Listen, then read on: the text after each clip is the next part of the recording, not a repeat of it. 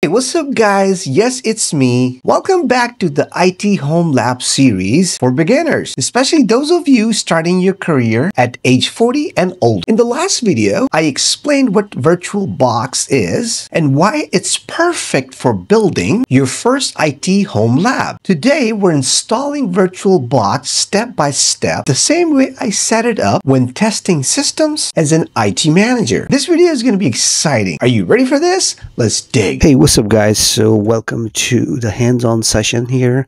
So first thing we want to do is download VirtualBox. To do that, uh, just open up your browser like Chrome or whatever you have. And then uh, in the Google, just go to the uh, google.com and from there you're going to search for Oracle VirtualBox. So just type VirtualBox download and you'll get these results here. You can just click on the first option there and right off the bat it takes you to the download page um, make sure you are on the real website not a third-party download page uh, because safe downloading is something uh, IT professionals do every single day. So consider this your first hands-on practice. Now, why do I say that? Like, so how do you know this is the official website? So if you just scroll down a little bit and look at the bottom here. It says Oracle, right? And this product is uh, owned by Oracle. So make sure it is Oracle, official Oracle website. That's number one. And the reason I'm saying that is because there are other websites which are also offering this download. For example, let me show you this website here. Uh, this right here, Softonic. Uh, you can download from here too, but guess what? This is not the official website. And if you download this, this may come with viruses, uh, malware, by malware, things like that. So you don't you don't want anything. You know, uh, next thing you know, it's going to want you to buy something from them or hack your, your computer getting hacked. So yeah, don't download anything from here. Let me just close this guy. Let's go back to the official website. So always install install always install from the source so that being said, um, let's download. Let's look at the download options here.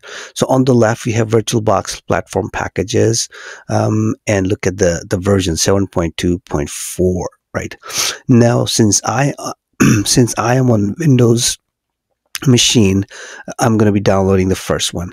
If you are on Mac, um, let's say if you have an older Mac, you will be going with Mac OS Intel chipset. And then if you have a newer version of Mac, like late, you bought it latest um, Mac OS, and then you'll be downloading Apple chipset. If you bought the if you bought your Mac within the last two years, there's a very good chance it's Apple um, silicon chip. Um, and if it's older than that, it's Intel. So you should know which one is it. So since I'm on uh, Windows, I'm just going to click on Windows host. Um, and let's see. Now look on the top right hand corner. This is where it gets downloaded. Install VirtualBox and you'll get this warning. Just hit download unif um, unverified file. and this is going to end up in your download folder. So click on your download folder. If you look in download folder right here, the first option here, just double click on it. And you'll get this warning, hit yes. And this is where it starts the process. Now, uh, just make sure the version is 7.2.4 um, and it's 64 bit. And from here, just hit next and you accept the terms and then hit next. And just do do the default over here um, and just hit next. Uh, you will get this warning um, which is okay. Uh, just go ahead and hit yes. Uh, this base this warning basically it this allows your virtual machines to communicate with the network later on um, which you'll need for your Windows server. Uh, when we when we install Active Directory and when we install Linux machines, how they communicate with each other. Uh, so you're going to need this option. So just go ahead and hit yes. Um, that's fine. Just hit yes. And then you can pretty much leave the default options checked. Um, Um, and just hit next and wait for the installation to uh, basically finish. Um, it's fairly quick. It's not that big of a software, uh, but it's very powerful.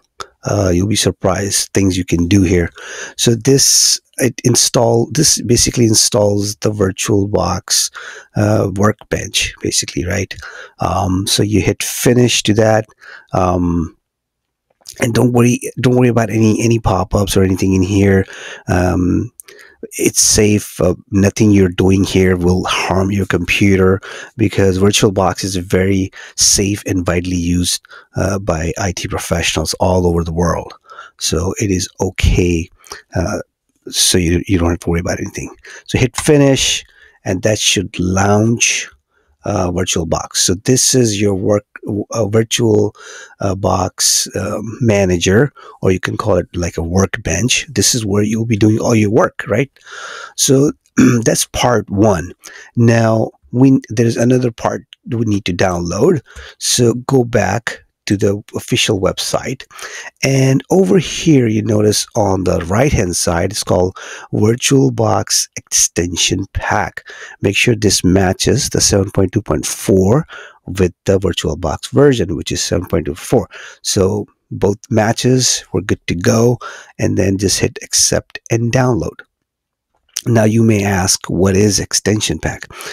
Um, think of extension pack as a set of extra tools for VirtualBox. Uh, by itself, VirtualBox can run uh, virtual machines, but the extension pack adds important features that make your lab um, much more flexible and powerful. Uh, what do I mean by that? Uh, for example, if you want to insert a USB drive to your computer, um, remember virtual virtual machines are virtual, right? That you can't touch them, you cannot insert anything. So, and you're creating them in your computer, but in your physically on your computer, you can insert a USB. But how are you going to see it in virtual machine? that's when you need extension pack. It lets your virtual machines connect to USB devices like flash drive, thumb drives, or external drives, uh, just like you connect to a real computer, right? A, a physical real computer. So that's why this is important. Also, for remote displays, when you uh, remotely connect to these machines, you can view them better. Uh, it gives you sort of like a driver for for better display um, resolution. Uh, you can encrypt your machine by using the extension pack, uh, which you don't have to worry about right now. But yeah, encryption is another a really good security feature, which we will be discussing later on uh, in in these IT courses. So yeah, a lot of um, other advanced features, things IT professionals often use when testing and troubleshooting systems. So just wanted to give you a real quick introduction about extension pack and why it's needed. So let's go ahead and hit accept and download. So when you do that, as you see on the top right corner, it got um, downloaded. Just click on it and uh, you'll get this warning. Just hit install and you'll have to read through this. Nobody reads that, but just scroll down and then now you can hit I, I agree, right? It's available. So hit I, I agree and then basically it adds to your workbench.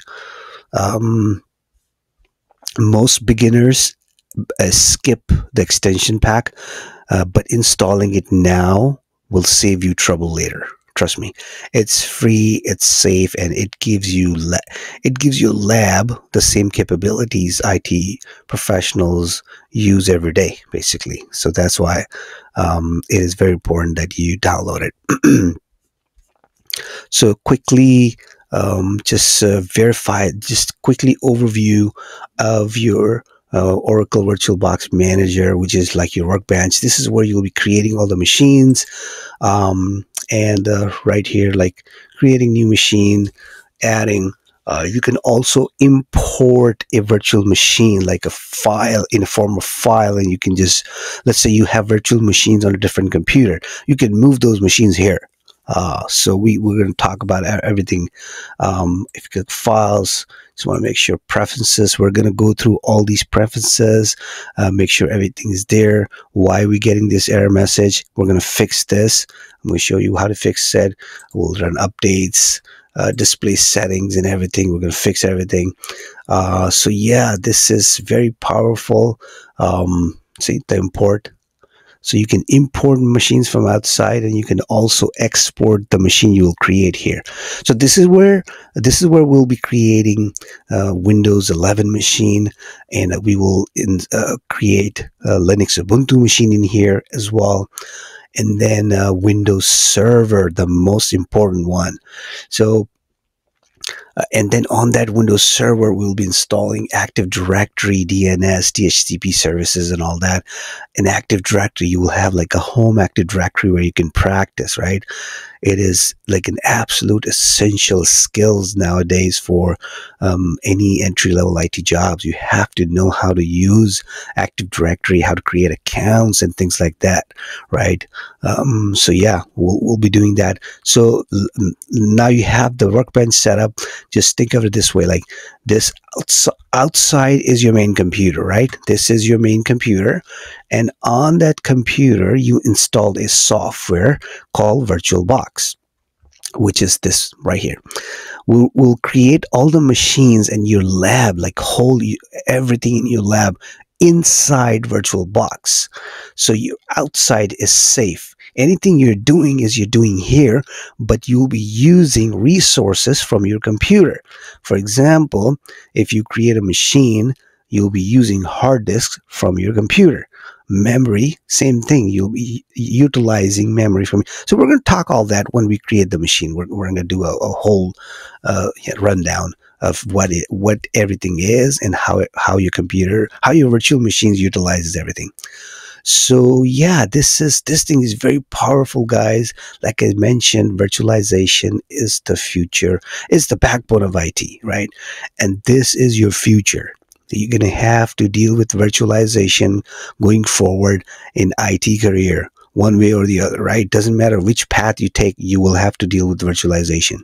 Um, so yeah, big companies, small companies, they all use it. This is the most basic virtualization software um, for beginners like yourself. Um, there are other enterprise level ones, but I just didn't want to do it because it will just confuse you. This is very basic. This is very, but it's very powerful technology. You will love it. You will love it.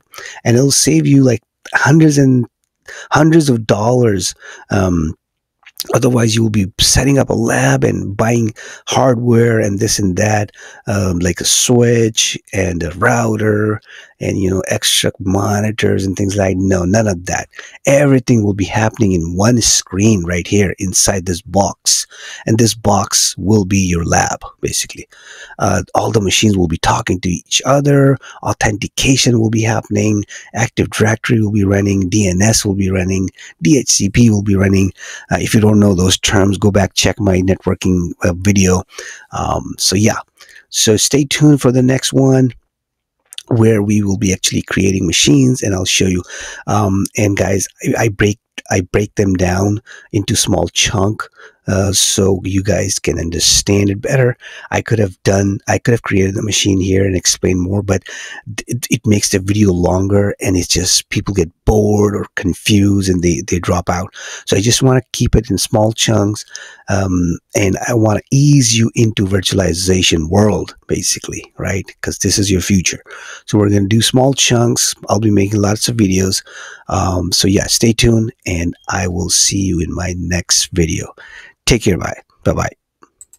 And that's it folks. VirtualBox is now installed and ready to use. In the next video, we'll create your first Windows 11 virtual machine, step by step. Perfect for beginners and career changers over 40. I'm breaking down this series into small and more manageable chunks so you can follow along easily and fully understand each step. Don't get bored or feel like you need to skip ahead, this is a very powerful subject and what you learn here can directly impact your future in IT. My goal here is to gently ease you into the world of virtualization, one step at a time. So stick with me and together we'll make this complex subject, simple and practical. Guys, make sure you subscribe and like this video so you don't miss the rest of the Home Lab series. Until next time, take care of yourself and others around you and I'll see you in my next video. Take care. Bye-bye.